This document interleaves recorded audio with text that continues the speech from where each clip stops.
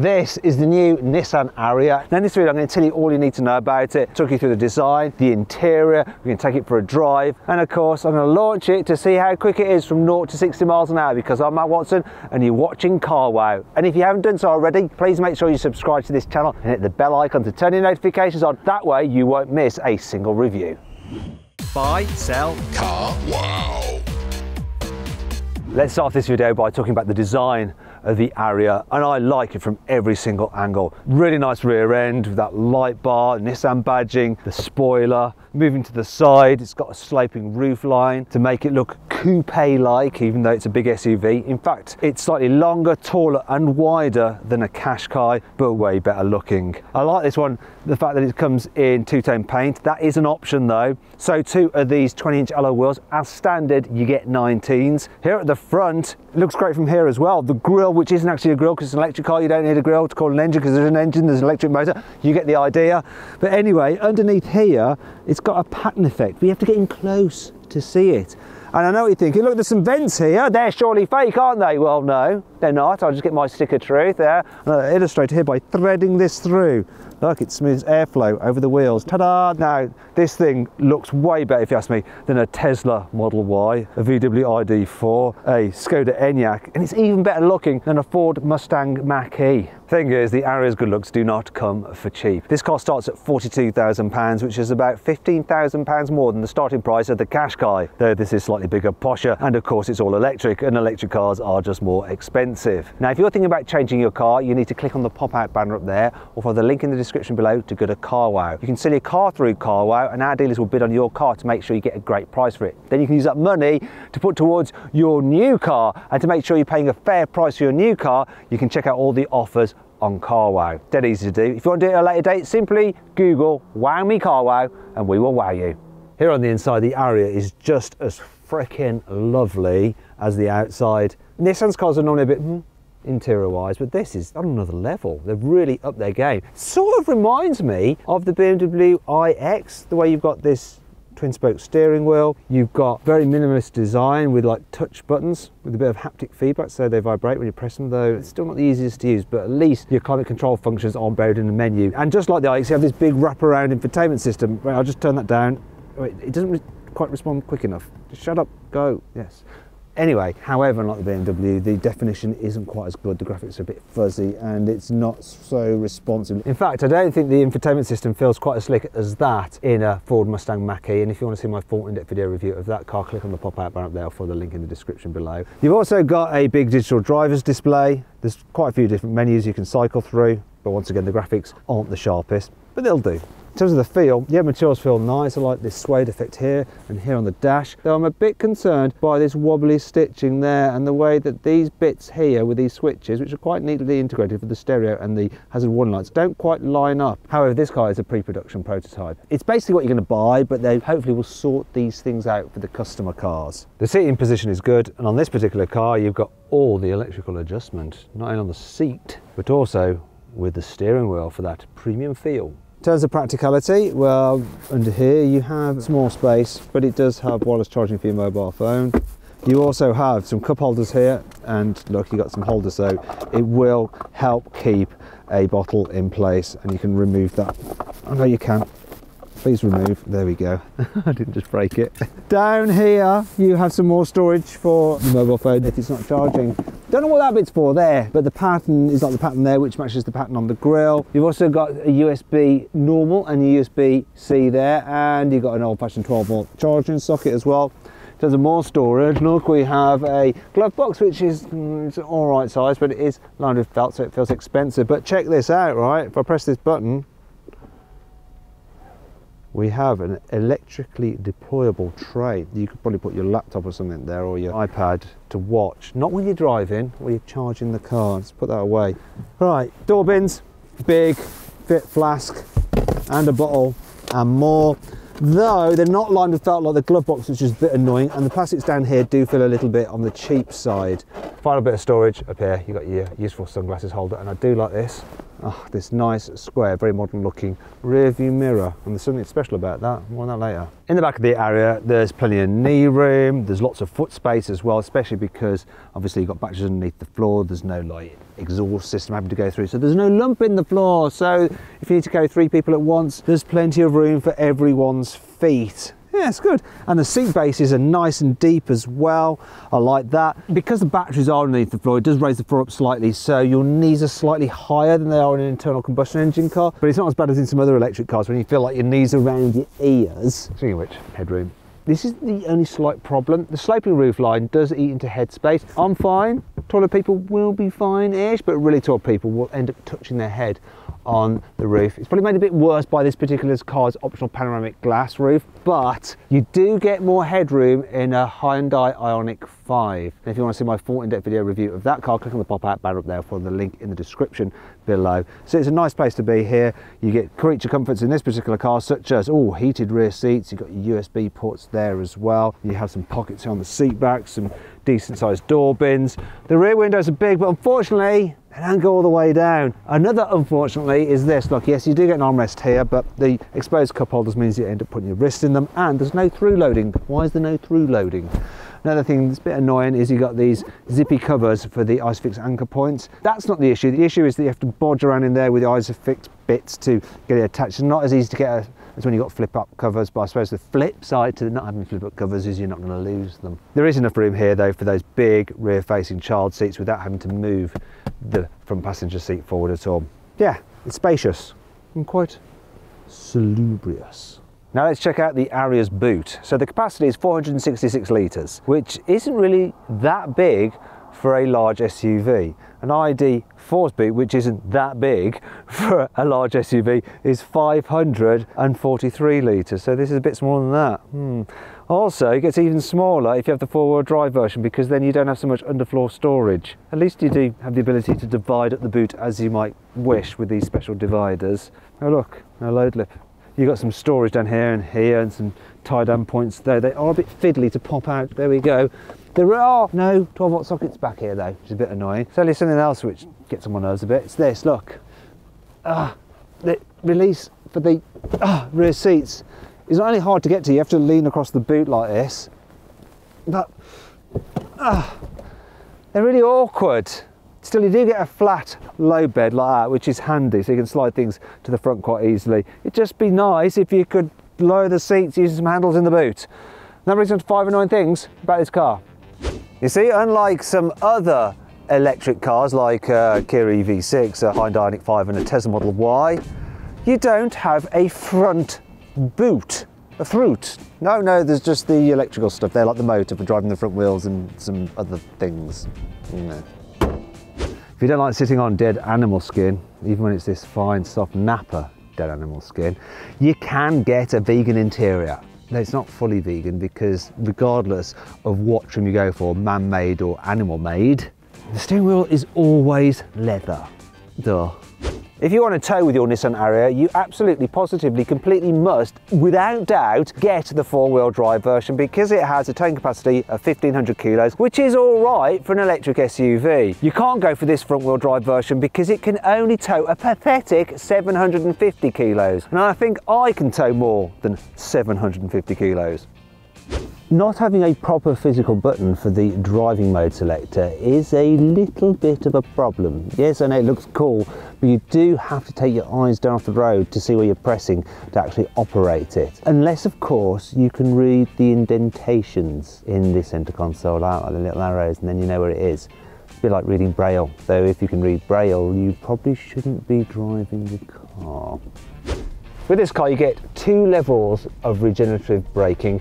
Now, obviously, you can turn it off. So here's me coasting along in a circle. I'm going to lift off the accelerator. I haven't got the regen effect on, so no, nothing's really happening on a lift off. It's still just rolling quite a lot.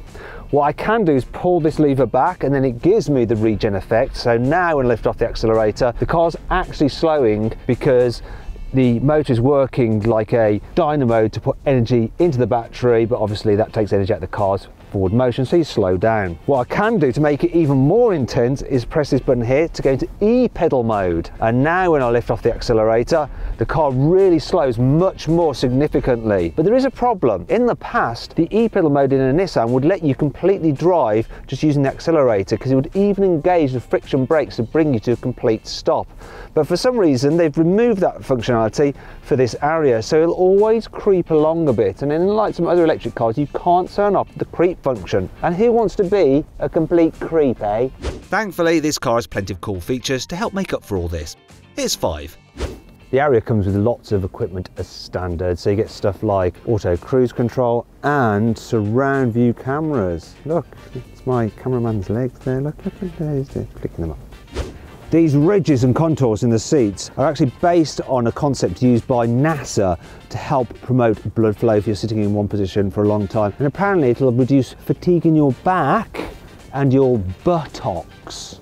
One area that many manufacturers often forget about is making sure that you can store the load cover underneath any false floor. Look, they should order this because otherwise where do you put it in the car when you're loading it all the way up, eh? Not quite satisfied with the location of the centre console? Do not fret because look, you can move it forward and backwards. One of the problems with giving a lift to tall people is that they can block your view from the rear view mirror. But don't worry because the Ariya gets a special camera which is displayed on the rear view mirror when you pull a little switch. There we go, look, you can see me, it's, it's all good. And obviously I'm far prettier to look at than that other bloke. Now let's talk about batteries and charging and all that good stuff. So the first thing for you to know is that Nissan has got rid of its horrible CHAdeMO charging port which then only use in Japan and now we have like the European style CCS for DC charging. Yeah, that's much better, isn't it? So the option on this car. You can have a 63 kilowatt hour battery pack or an 87 kilowatt hour battery pack. The ranges of the Ariya go from around 220 miles for the lowest range one to 310 miles range for the highest range one. You can get front wheel drive or four wheel drive and power outputs range from 217 horsepower all the way up to 394 horsepower. In terms of charging, well, if you're at a fast charger, it can only charge at 130 kilowatts, whereas things like a Tesla Model Y can charge at over 200 kilowatts, if you can find a 200 kilowatt charger, that is. You're mainly going to be charging using the normal like wall socket 7 kilowatts at home and for the bigger battery version of this it's probably going to take you about 14 hours to charge it fully so you're going to have to leave it more than overnight. Now, which is the best version of the Ariya for you to go for? Well, what I'm going to do is go into CarWow and I'm going to configure what I think is the best all-round Ariya in terms of the motor, the battery and the spec. And if you want to see what that is and the saving on it, click on the pop-out banner up there or follow the link in the description below. Now let's see what this Nissan Ariya is like to drive, starting with in town because that's where electric vehicles are at their best. And the first thing I'm noticing about this Ariya is the suspension. I wouldn't say it's firm or anything, it just feels a little bit busy. So the car does like jiggle about a bit when you go over bumps. And you also hear quite a bit of noise thumping from the suspension if you hit a more severe bump. Now we're going to come up to a place here which we're just going to show you the thump of the suspension. Here's a sharp bump. Do you hear that noise? Ma? One thing I can't complain about though is the steering. It is nice and light. And the turning circle on this car is 11.6 meters. So it's similar to something like a Ford Mach-E its adequate look, I was able to do a full 360 in that space. One thing I can't complain about with this is the visibility forward. It's brilliant. You've got a low dash, you get a great view forward. The door mirrors aren't the biggest for an SUV, but they're big enough. Get a good view out of them. Yes, you get a big blind spot from this pillar here, but that's the same in many cars. The view out the back window isn't great. Thankfully, though, you can spec that camera that I've already mentioned. What's not good, though, is the blind spot. The back pillar is really thick, so when you're like pulling out of junctions like that, filtering or you know maybe pulling out of a driveway across a road that is annoying. Now let's see what the Ariya is like to drive on the motorway. So I've set the adaptive cruise control to 70 miles an hour. I've got the steering assist keeping me neatly in lane and I've got a radar checking if there's vehicles in front of me and it'll automatically slow me down if it needs to. So I've reset the trip computer, I'm going to cruise along for a bit and we'll see how much energy this thing uses at 70 miles an hour. Mm. While we're doing that, it's a good time for me to comment on what it's like to travel in. So the seats are comfy. This motorway is a little bit bumpy, so I am feeling the bumps a little bit, but it's not too bad. As you go quicker, this car suspension does get a little bit better. I am hearing a bit of wind noise from around here. It's always the case with electric cars though, because you don't have the engine drowning out those noises, but it's not intrusive and I don't really hear any road noise at all, which is good. Bear with me for a bit while we put in some more miles to get a reading. Okay, so I've driven for five miles and it's saying that I'm averaging 2.3 miles per kilowatt hour, times up by the 63 kilowatt hour battery pack. You're looking at 145 miles cruising at 70 on the motorway. I say 70 because something bizarre is happening. The speedo says 70, the cruise control says 70, but my average is 67 miles an hour. Hmm, bizarre. Any reason why that may be? Let me know in the comments below. Now let's see what the Ariya is like to drive on a twisty road. So I've got it in sports mode. Ooh, exciting. What I'm going to do though is turn the regen braking off. So go from B into D, so when I lift off now the car coasts like a normal internal combustion engine automatic. That's actually better for when you're going quickly on a twisty road because you don't suddenly upset the car's balance if you lift off the accelerator due to panic or planning, you know, like when you want to roll around a corner at speed. And actually, when you are rolling around a corner at speed, despite this thing's weight, it actually grips and goes around surprisingly well. There's hardly any body lean at all through the corners. You do start to sense the car's weight if you're really going quickly into a corner and front tires run out of grip and does start to push wide. But it's actually surprisingly good and quite responsive to your steering inputs. Another thing I'm surprised about, the brakes. Now, sometimes in electric cars, they can feel a bit grabby, but these are supernatural. There is one problem though, well actually two. The first is that with this front wheel drive car, when you put the power down, when you're exiting a corner, you can feel, oh, and there's the second one actually. Uh, the, the second problem is that when you hit a bump, you suddenly get this kind of like thing where the car just completely loses the plot. It goes blah, blah, blah, like that the suspension just can't cope. Really can't. Anyway, back to what I was saying originally. If you've got the front wheel drive version, it can struggle to put its power down when you're exiting a turn if you apply the accelerator too suddenly. And the stability control, when it senses that it needs to kick in, it really kills the power for quite a long time. It's like, no, you've been naughty, you've lost grip. We're going to just rein things in a bit until we think you're capable of being more sensible. Sort of like that. This particular version of the Nissan Ariya is supposed to do 0 to 60 miles an hour in 7.5 seconds, but we're going to find out exactly just how quick it really is by using my specialist timing gear up here. Yeah, I'm going to launch it. Three, two, one. Not a quick getaway. Speed is building. And 0 to 60 is 7.88 seconds. What's the quarter mile? What's that going to be? 16.14. Ooh.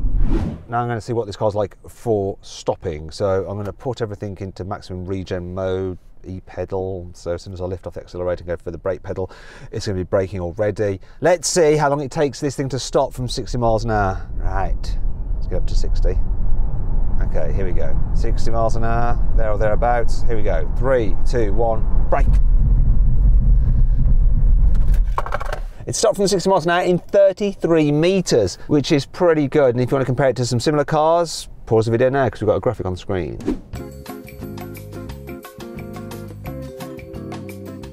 Now, before you start commenting, going, oh, wait a minute, you're going over 60 miles an hour, this device actually just registers once I go from this 60 mile an hour mark, okay? So it's accurate, right?